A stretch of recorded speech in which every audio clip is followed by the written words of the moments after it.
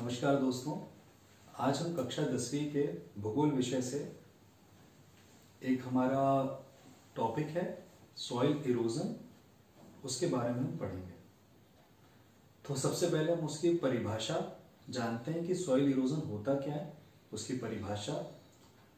उसके किन कारणों के कारण सॉइल इरोजन होता है और क्या हम कर सकते हैं कि सॉइल इरोजन को रोका जा सके।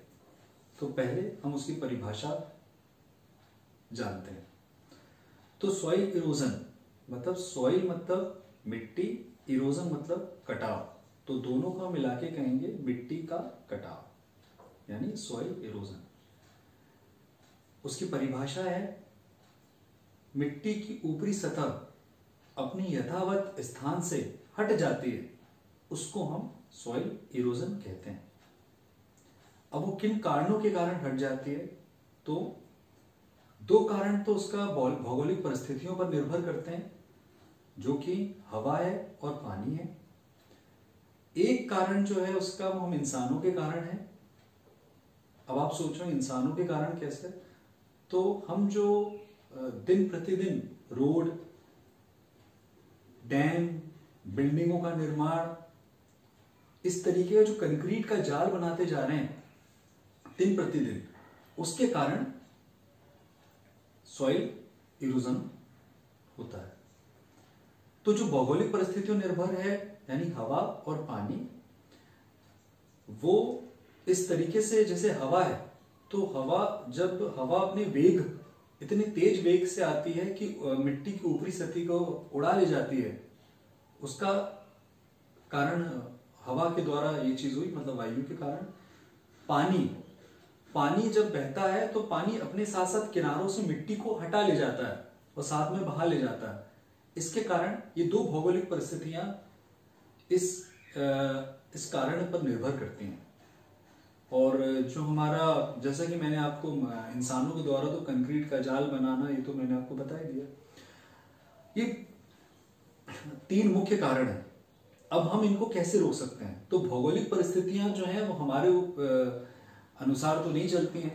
भौगोलिक परिस्थितियों, जैसे हवा और पानी है तो हवा को हम पेड़ों की एक चेन वॉल मतलब पेड़ों का एक हम बाउंड्री टाइप की बनाएँ, जिससे कि जब हवा अपने निरंतर वेग के साथ जब आती है तो उसकी जो वेग है, वो पेड़ों के कारण टकराने से कम हो जाता है, जिससे कारण मिट्टी उतना वेग नहीं मिलता कि मिट्टी उड़ जाए। तो हम वायु के कारण जो उसका दुष्प्रभाव हो रहा है, वो हम रोक सकते हैं। दूसरा पानी। पानी जो है हम आ, किनारों में जैसे बीच हैं या नदियाँ हैं या तालाब हैं तो हम उनके किनारों में पत्थरों का एक बाउंड्री बनाएँ। पत्थरों की बनाती आपने देखा होगा पत्थरों का एक जाल टाइप का बिछाया जाता है कोने कोनों में जैसे पानी उस पर टकराता है और यथावत स्थान पर पुनः अपने आ जाता है। जिसके कारण वो मिट्टी को काट नहीं पाता है ना? तो ऐसे मिट्टी को काटता जाएगा काटता जाएगा तो जिसके कारण क्या होगा?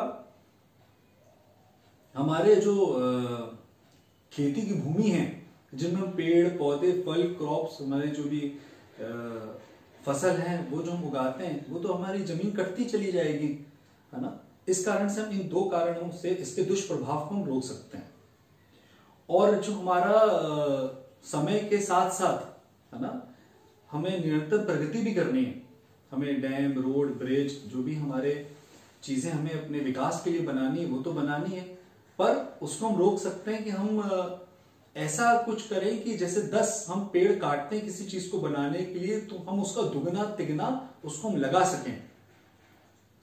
ये हम कर सकते हैं और इसके लिए सरकार भी निरंतर प्रयास करती है, ऐसा नहीं है। सरकार अपना वृक्षारोपण कार्यक्रम हर साल चलाती है, स्वयंसेवी संस्थाएँ भी इसमें योगदान देती हैं और हम एक स्लोगन चलाते हैं कि आपका जिस दिन जन्मदिन हो तो आप उस दिन अपना एक पेड़ लगा के अपना जन्मदिन मनाएँ।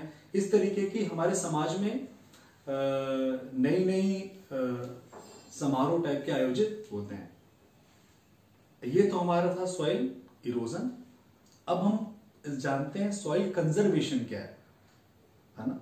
सॉइल कंजर्वेशन जो है, मिट्टी का बचाव आप समझ ले। पहला था इरोजन तो मिट्टी का कटाव, और दूसरा सॉइल कंजर्वेशन मिट्टी का बचाव, जो हमारा इरोजन के कारण नुकसान हुआ है, उसको हम किस तरीके से बचा सकते हैं वो हमारा कंजर्वेशन है।